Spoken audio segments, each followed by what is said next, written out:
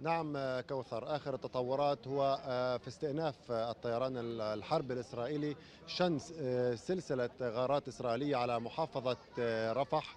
عفوا على محافظة خان يونس في عدد من المناطق في تلك المحافظة وأسفر ذلك عن استشهاد عدد من المواطنين وإصابة العشرات بجراح مختلفة. وحسب إحصائية أولية فإن هناك أكثر من 15 شهيدا منذ ساعات الصباح في محافظة خان يونس. جراء استمرار الغارات الإسرائيلية واستمرار القصف الإسرائيلي على على محافظة خان يونس ويتركز القصف حسب ما تم إبلاغنا في محيط مستشفى ناصر الطبي. كان هناك تنفيذ سلسلة من الأحزمة النارية في منطقة مستشفى ناصر الطبي.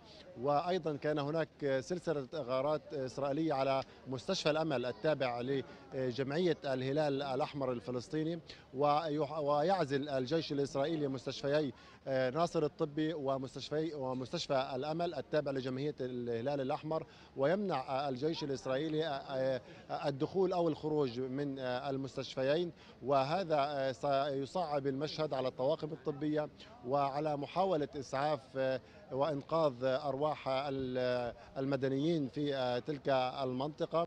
هناك تحذيرات من وضع صحي كارثي في محافظة خان يونس. هناك هناك الاطقم الطبية بحاجة إلى الغذاء وإلى الأدوية وإلى المستهلكات الطبية. أيضا بحاجة إلى أيضا إلى الوقود كي يتم استمرار عمل مستشفى ناصر. أيضا مستشفى مستشفى الأمل هو لليوم الرابع على التوالي كما تقول جمعية الهلال الأحمر الفلسطيني ويمنع الجيش الإسرائيلي إدخال أو خروج أي مريض أو أي جريح من المستشفيات. هناك عشرات الشهداء في على الطرقات وفي بين الأزقة في محافظة خان يونس. الجيش الإسرائيلي يطلق النار على كل من يتحرك في تلك المحافظة. أيضا الطائرات كواد كابتر الإسرائيلية تطلق النار على كل من يتحرك في محيط مستشفى الناصر الطبي أو مستشفى الأمل أو في بعض مناطق محافظة خان يونس. الأوضاع كارثية وصعبة في محافظة خان يونس.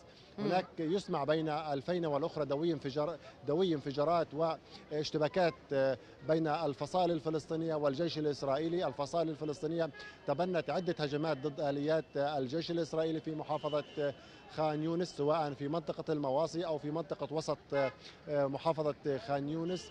هناك من يحاول النزوح والهروب من جحيم القصف في من من مركز الصناعة التابع للأمم المتحدة.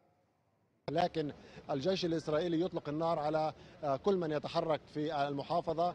العديد من الروايات والشهادات وصلتنا من النازحين بأن الجيش الإسرائيلي يطلق النار على كل من يتحرك من منطقة الصناعة أو من مركز إيواء الصناعة أو من يتحرك على شاطئ على شارع الرشيد يحاولون الوصول إلى مستشفى إلى إلى عفوا إلى إلى محافظة رفح لكن الأوضاع صعبة وقاسية. هناك الكثير من الناس تحاول النزوح لكن يتم إطلاق النار عليها في تلك المحافظة الأمور أيضا في مواصي خان يونس جمعيه الهلال الأحمر الفلسطيني أقامت نقطة طبية من أجل معالجة الجرحى قبل وصولهم إلى مشافي رفح خلال الأيام الماضية وصلت العديد من الإصابات والعديد من جثامين الشهداء إلى مشافي نعم. محافظة رفح لعدم التمكن من الوصول بهم إلى مستشفى أبو يوسف عفوا إلى مستشفى ناصر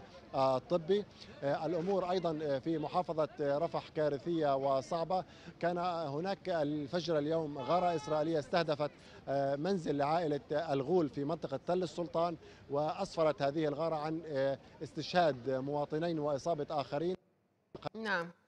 الجيش الإسرائيلي بقصف مسجد مسجد عمر بن عبد العزيز في شرقي محافظة رفح. أسفرت هذه الغارة عن استشهاد خمسة مواطنين وإصابة العشرات بجراح مختلفة ووصلت العديد من الإصابات إلى مستشفى أبو يوسف النجار وتم إدخالها إلى غرف العمليات في محاولة لإنقاذ حياتهم.